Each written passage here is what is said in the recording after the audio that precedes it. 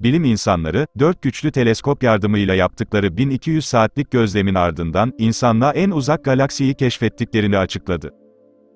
Galaksi, dünyamızdan 13.5 milyar ışık yılı uzakta olmasıyla, keşfedilen en eski galaksi olarak kayıtlara geçti. Sonsuz evrenin yalnızca gözlemleyebildiğimiz kısmı bile, bize her gün yeni sürprizler sunuyor.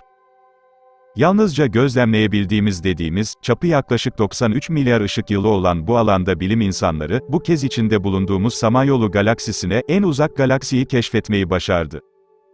Galaksi hakkında edinilen ilk bilgilerse, oldukça ilgi çekiciydi. Bilim insanlarının yeni keşfi olan ve HD1 olarak isimlendirilen yeni galaksinin, Dünya'dan 13.5 milyar ışık yılı uzakta olduğu açıklandı. Galaksinin tipi ve özellikleri hakkında henüz net bulgular bulunmazken, paylaşılan diğer bir bilgiye göre bu galaksi, büyük patlamadan neredeyse 330 milyon yıl sonra meydana geldi. Yani galaksi, bulunduğumuz evren için fazlasıyla yaşlı. Günümüz teknolojisi, ne yazık ki HD1 gibi uzak galaksileri detaylı şekilde gözlemlememize hatta, bu galaksileri tespit etmemizi halen tam anlamıyla mümkün kılmıyor.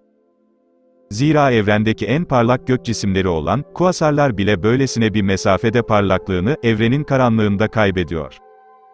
HD1'in keşfi, toplamda 4 güçlü optik ve, kızılötesi teleskop sayesinde gerçekleşti. Galaksi, Subaru Teleskobu, Vista Teleskobu, Birleşik Krallık Kızılötesi Teleskobu ve Spitzer Uzay Teleskobu ile yapılan, 1200 saatlik gözlem sonrasında kendisini gösterdi.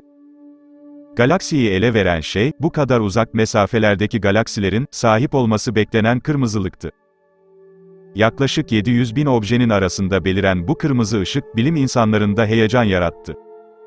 Bilim insanları, çok yakında kullanıma girecek ve, evrenin ilk anlarını araştırmakla yükümlü olacak James Webb Uzay Teleskobu'yla, bu galaksi hakkında daha fazla bilgi edinmeyi planlıyor.